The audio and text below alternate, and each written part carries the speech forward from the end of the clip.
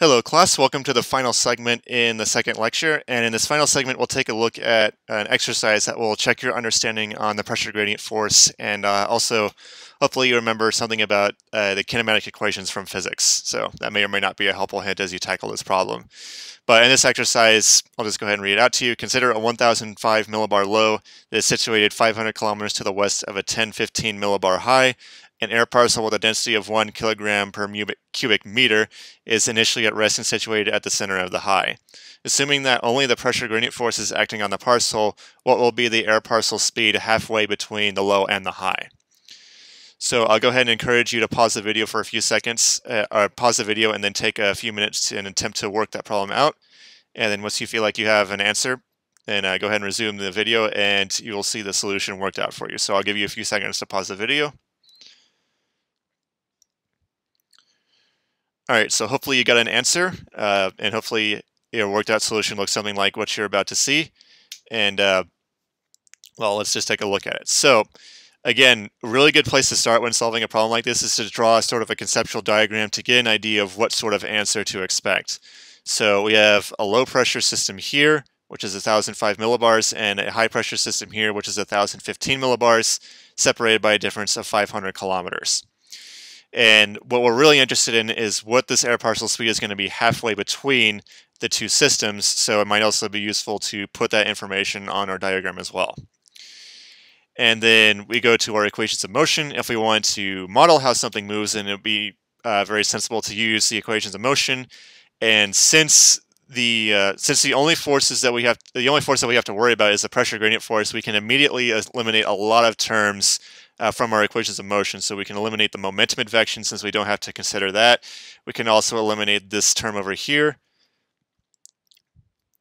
So we can eliminate this term over here, which is all the other forces. And we can also eliminate a lot more terms. So since our pressure gradient is only acting in the x direction or the zonal direction, we can eliminate the y component and we can eliminate the z component of the pressure gradient force as well, which means the parcel is not going to accelerate in the v in the meridional direction and it's not going to experience any accelerations in the vertical direction. The only thing that we have to worry about is the acceleration in the zonal direction or in the x component. And then we can also rewrite the left-hand side as just the acceleration in the x direction. We can just use more of a conventional symbol to sort of represent that. So the acceleration in the x direction is just equal to negative 1 over density times the pressure gradient that we are dealing with. So that's just the pressure gradient force term. And we can combine that with one of the kinematic equations that we might remember from uh, physics 1, I believe it is, Newtonian mechanics, where this would be the particular kinematic equation that you would want to use since it does not involve time. We don't care about time, but it does involve initial velocity, final velocity, as well as acceleration and the displacement. And we know what u naught is, the initial velocity, because the parcel starts at rest, so u naught is just zero. And we can determine the acceleration from up here. We simply calculate what the pressure gradient force is, and that actually gives us the acceleration. And then also we know what the displacement is, it's 250 kilometers to the to the left or to the west. So we have enough information to determine what the final velocity should be at this halfway point.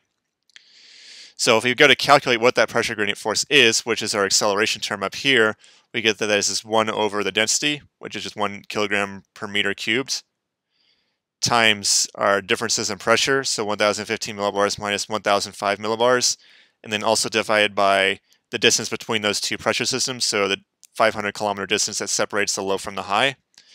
And uh, make sure that you're keeping track of your negative signs here because, or keeping track of your signs and make sure you're being consistent.